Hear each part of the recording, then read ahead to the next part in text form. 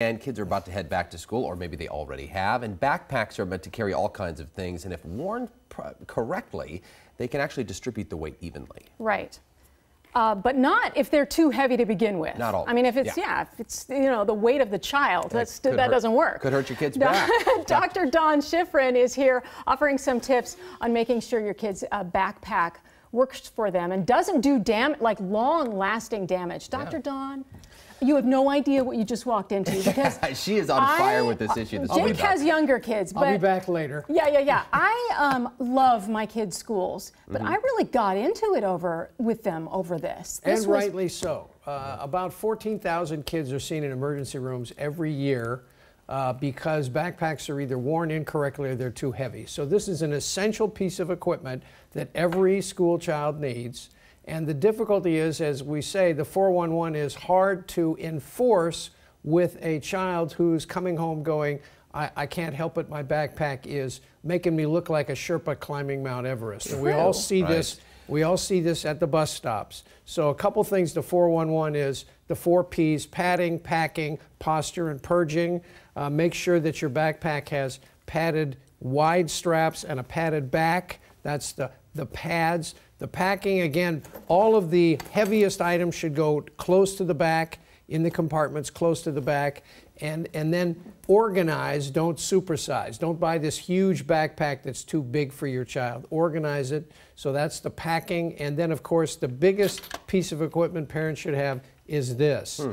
And they should weigh the, don't get a heavy backpack, get a light backpack and set the scale for 10 to 15% of your child's total weight. So if you have a 60 pound elementary school youngster, that's six to 10 pounds. That's it. And that's and, it. and they're they're already past that. They're way past that. Way past that. So what do we okay, so you're helping us get ready for the school year, but we've got to look at the longer picture issue here too and how we deal with it because doctors are telling us one thing. Schools are not they're adding laptops. I love schools i love teachers yeah. i love you guys. away the lockers, this is though, a problem. Too. they're, they're remodeling the schools taking away the lockers. They're adding the laptops but they're keeping these big heavy books.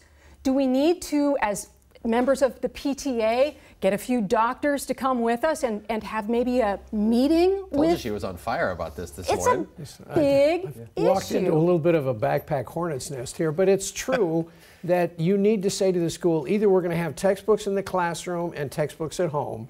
Uh, or we're going to have lighter textbooks. We're going to have online textbooks. There is a very, this is a very difficult solution to, shall we say, work through. But it's out there every day. So the third, the third thing, of course, is posture, no swinging or slinging. If your child has to back into a chair to get into the backpack to lift mm-hmm. it up, again, that's going to damage neck, shoulders, and back. And potentially while they're still growing, long-term damage, right? Of course, of course, especially to their necks, because they tend to swing it up and they put it on one shoulder, so use those two straps. And if they can buy a backpack with a waist strap, a wide waist strap, that will take some of the pressure off their back and put it on because their waist. They're still growing. You yes. wouldn't have your kids lifting heavy weights at the gym, yet we have them doing this every day. Yeah. And, and at least once a week, use the scale, purge the backpack of old uh, lunches that are getting moldy, right. uh, old homework. So parents have a really big job to do, and it's not just homework and sleep schedules. Yeah. It's making sure that backpack does not damage your child. Dr. Thank you so much, Dr. Thanks for being in. Appreciate it's it. Great to be here.